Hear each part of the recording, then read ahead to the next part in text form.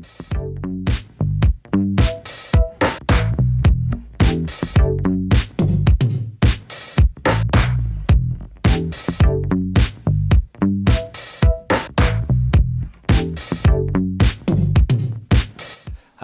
semuanya.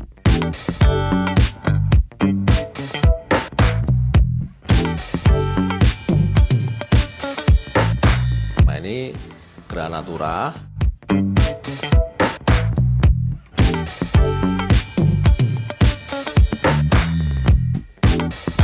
Dalam ada empat kamar tidur. Yuk kita masuk.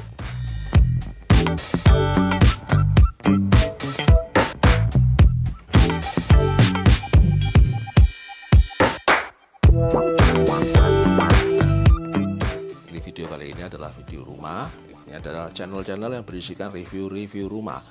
Nah, di channel ini channel Neo Antika. Kali ini ada satu rumah di Pol perumahan Gera Sampurna. Gera Sampurna ini lokasinya di Surabaya, bagian barat.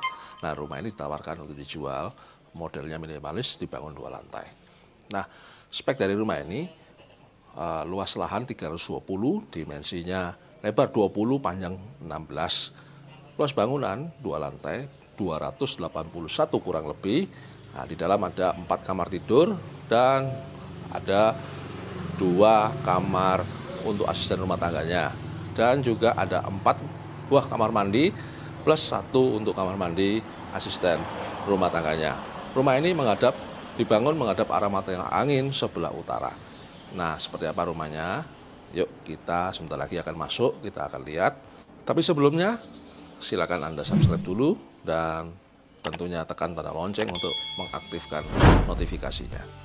Oke, tanpa berlama-lama, yuk kita segera mulai turnya.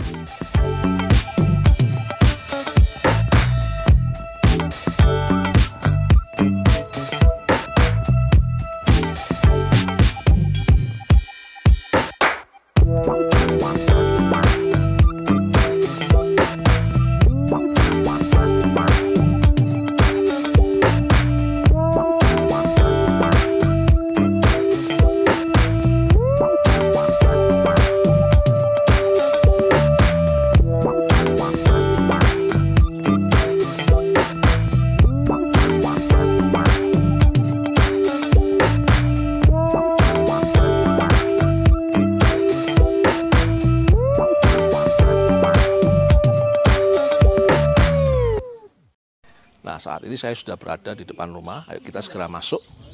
Nah, rumah ini mempunyai lebar 20. Wah, lebarnya sangat lebar sekali dan bagian depan ini ada fasilitas carport ya. Jadi carportnya kapasitasnya dua buah mobil, tapi rumah ini tidak dilengkapi dengan garasi ya. Hanya carport bagian luar. Yuk kita masuk.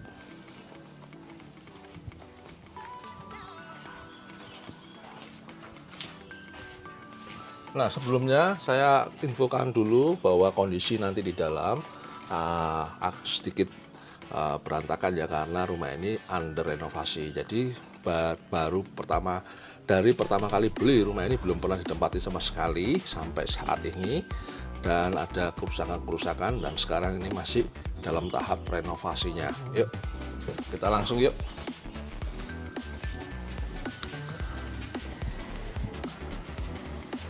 Nah, di area carport yang tadi kita masuk, nah kita menemui teras. Ini adalah teras dan ini sebelah kiri adalah pintu masuk utama. Dan masih ada taman di sebelah kanan itu. Ya, dari teras masih ada lahan yang luas, yaitu bisa difungsikan untuk taman. Yang menarik, ayo kita lanjut. Nah, ini ada seperti uh, teras lagi tapi tidak tertutup ya terbuka. Seperti halaman uh, teras. Nah ini menuju ke jendela kamar tapi nanti kita uh, menuju ke sana kamarnya seperti apa. Nah ini sekilas saja dari tampak depan bahwa kita di halaman depan ini ada jendela dari kamar utamanya Nah, di samping sini masih ada lahan kosong ya. Nah, ini untuk sirkulasi udara yang ada di kamar masternya ini. Ini bisa dipercantik lagi. Nanti kalau sudah selesai renovasinya akan dibikin taman yang lebih cantik maka hasilnya akan lebih bagus ya. Nah, memang kondisi saat ini di dalam sangat berantakan sekali karena masih under renovasi ya. Tapi kita kepingin tahu bagaimana layout dari uh, bagian dalam desain layoutnya. Yuk kita segera masuk ke pintu utamanya.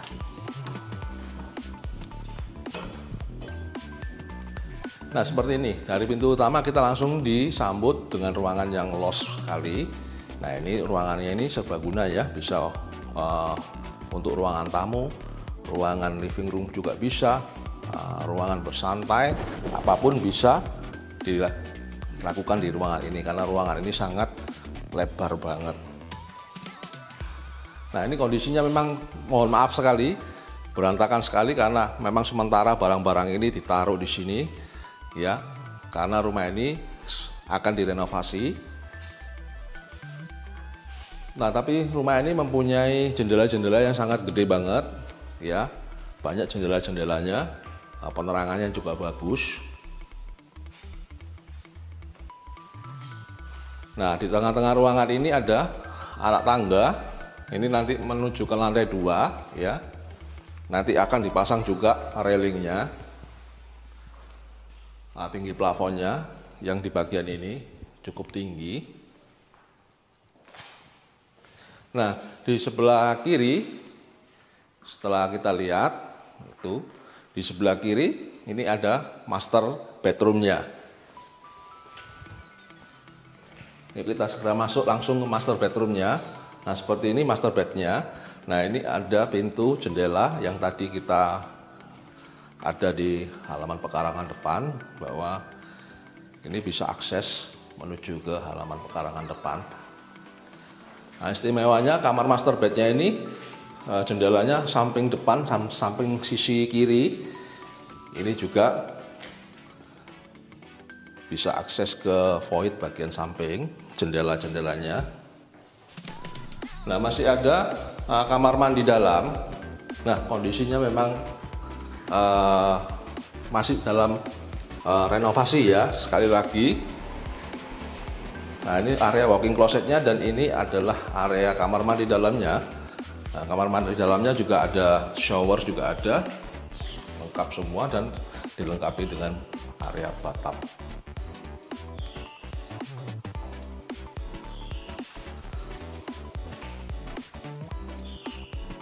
Nah, seperti itu kamar mandi dalam.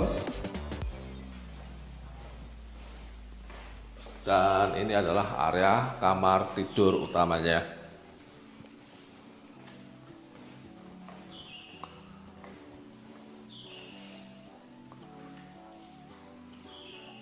Nah kalau Anda lihat di ruangan tengah ini di ruangan utamanya ini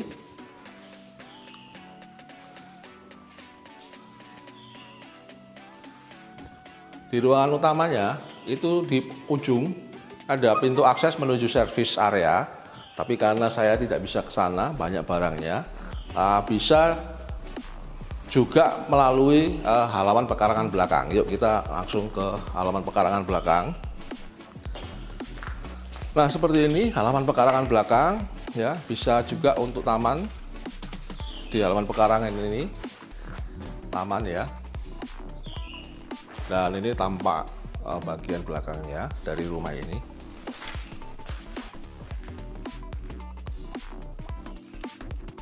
seperti ini dari sayanya dari rumah Geraha Natura ini yuk kita masuk ke akses servisnya. Akses servis itu ada di uh, bagian samping kiri.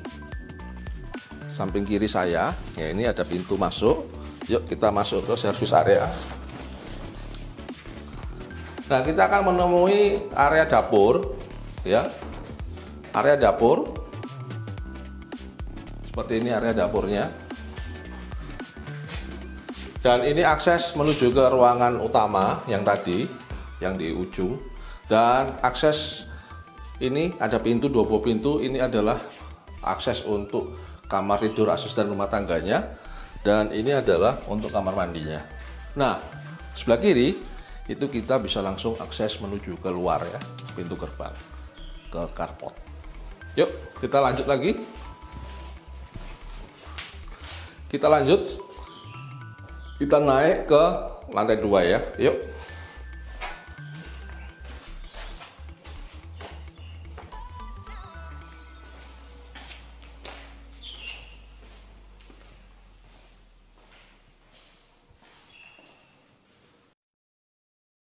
Kita langsung naik ya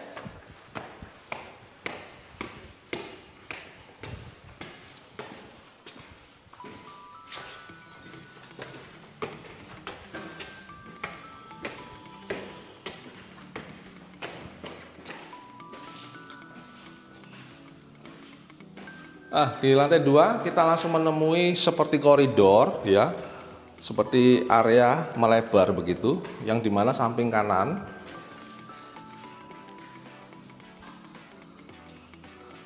samping sebelah kanan saya itu ada satu buah kamar mandi yang di ujung dan ada dua buah kamar yang sejajar. Ya, ini kamar tidurnya.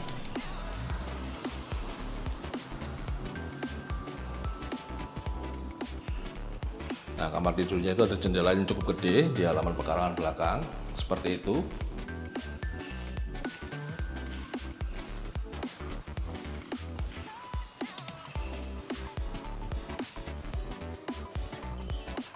Nah, view-nya seperti Anda lihat.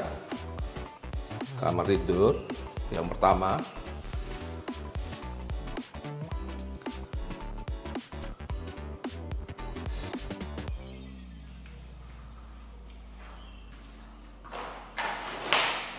Nah, kita lanjut lagi ke kamar yang berikutnya. Kamar ini berada pas di sebelahnya.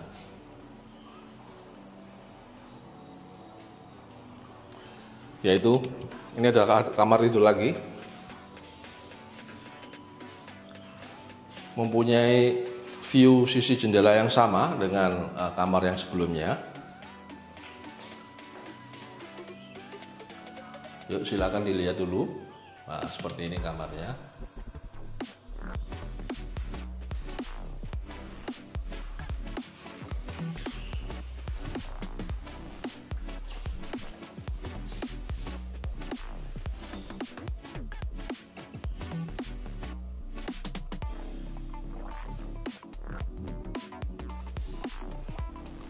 Kita lanjut terus yuk.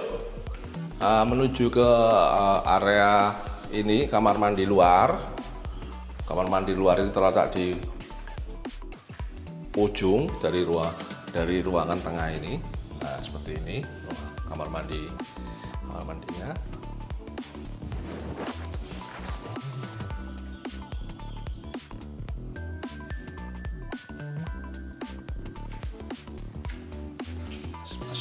Jendelanya kamar mandi itu ya, untuk sirkulasi dan penerangannya.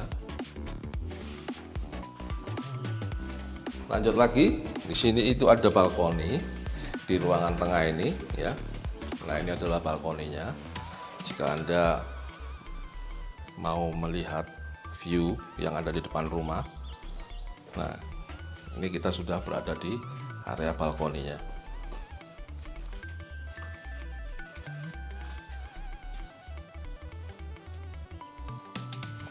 Nah, ayo kita lanjut lagi dari area balkoni. Masih ada satu buah kamar lagi yang harus kita lihat itu kamarnya itu posisinya ada di ujung di depan kita. Nah, ini adalah masternya ya, master yang kedua ya.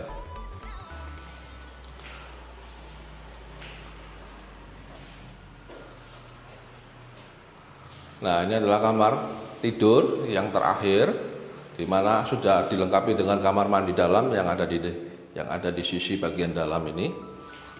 Ada jendela yang cukup gede, permanen, tidak bisa dibuka, hanya untuk pencahayaannya. Jadi silakan. Ini adalah kamar mandinya.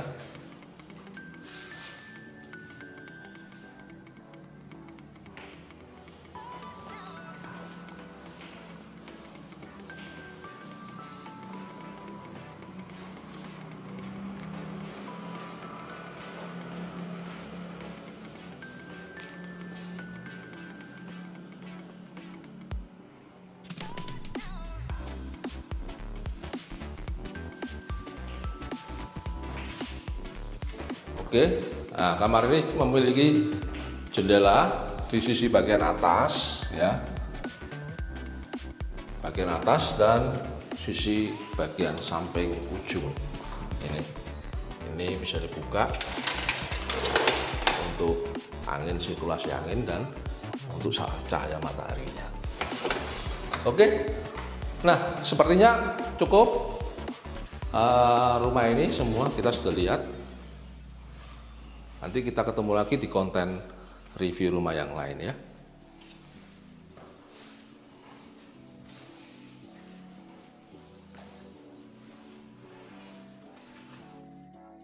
Nah, seperti itulah rumah ini. Rumah ini Granatura. Nah, tadi kita sudah lihat semuanya. Kondisi saat ini memang berantakan karena rumah ini akan direnovasi. Dan rumah ini ditawarkan di harga 7 miliar. Yuk, bagi Anda, siapa pun Anda yang ingin mempunyai hunian di Granatura, nah silakan rumah ini mungkin bisa menjadi satu alternatif untuk Anda. Nah, ada nomor kontak yang bisa Anda hubungi, silakan. Dan deskripsi lengkap mengenai rumah ini sudah saya tulis di kolom deskripsi yang ada di bawah. Nah, sekian dulu. Jika Anda suka dengan video ini, silakan Anda like, anda share, dan tentunya Anda subscribe. Saksikan terus channel ini di review rumah yang lain dan lokasi yang lain. Tentunya semua rumahnya mantap-mantap. Bye-bye.